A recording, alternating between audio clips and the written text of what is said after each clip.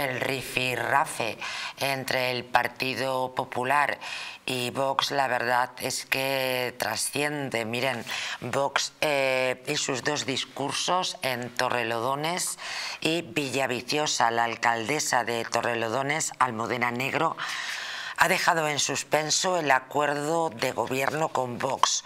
Un nuevo conflicto amenaza con explotar a la vuelta del verano.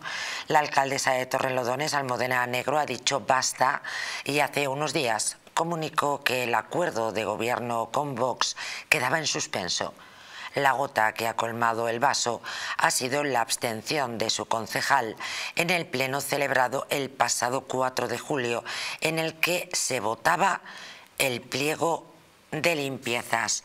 Juan, Juan Solaeche. Juan, muy buenas noches. Hola, buenas noches, ¿qué tal? Hola Juan, eh, bienvenido. Decíamos que, en fin, este desencuentro entre el Partido Popular y Vox no solamente ocurre en en grandes ciudades y en, grandes, en regiones completas, sino también en este caso en un pequeño municipio hermoso, sin ninguna duda, de Madrid como es Torrelodones. Sí, eh, yo creo que tiene mucho sentido lo que acabas de decir, en el sentido de que no hay un criterio, o en Vox al menos en la Comunidad de Madrid, mientras en Villaviciosa bueno, pues eh, sacan también un concurso de basura muy parecido y con una población muy parecida, tiene 28.000. Creo que, creo, Juan, vamos a intentar recuperar, por favor, esta comunicación, porque llega con muchísima... llega con mucha dificultad y creo que nuestros telespectadores eh, estabas haciendo una reflexión y creo que, no te, que no te han escuchado bien. Si es una percepción mía, que me lo digan desde control, pero yo desde luego no, no estaba entendiendo bien. ¿Y ahora? Ahora desde luego te escucho con mucha nitidez, Juan. Estupendo. Bueno, pues eh, agradeceros la invitación. Decía que Vox parece que no tiene un criterio unificado en la Comunidad de Madrid. Eh, con un contrato parecido en, en Villaviciosa de Odón con un nivel de población muy parecido unos 25.000, otros 28.000 habitantes, bueno, pues el concejal en, en Villaviciosa Dodón, que es de Vox, eh, bueno, pues compactado sin ningún tipo de problemas, un acuerdo muy, muy similar. ¿no? En cambio, en Lodones, bueno, pues, pues el, el concejal del PP se ha presentado y la portavocía de Vox y tal se, se han abstenido alegando que es la ley que está en Europa el PP con el PSOE y que está imponiendo unas cuotas elevadas, que bueno, que, también es verdad, porque pasan de pagar 60 euros a pagar por 50 euros por familia, ¿no? Es un, es un incremento muy importante.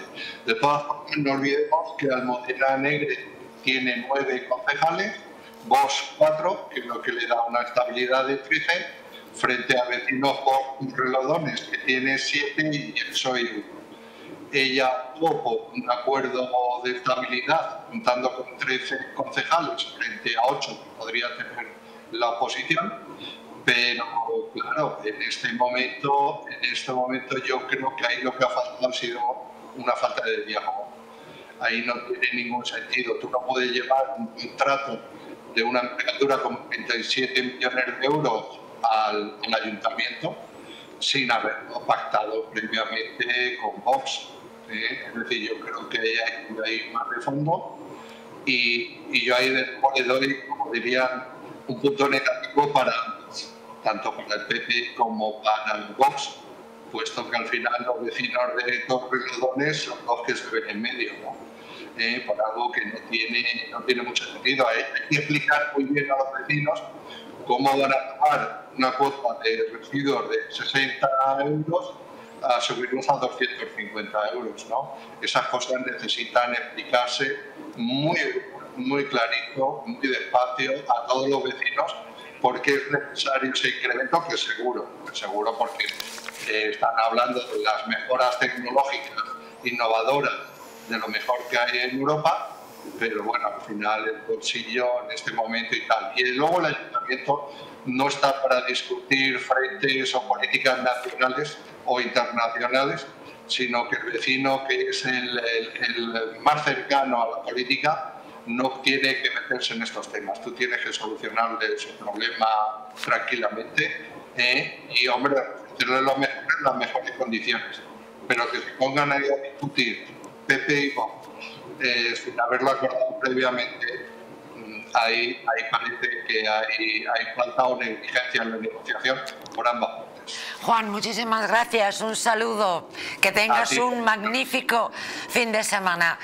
Muy buenas noches, Juan, gracias. Muchas gracias.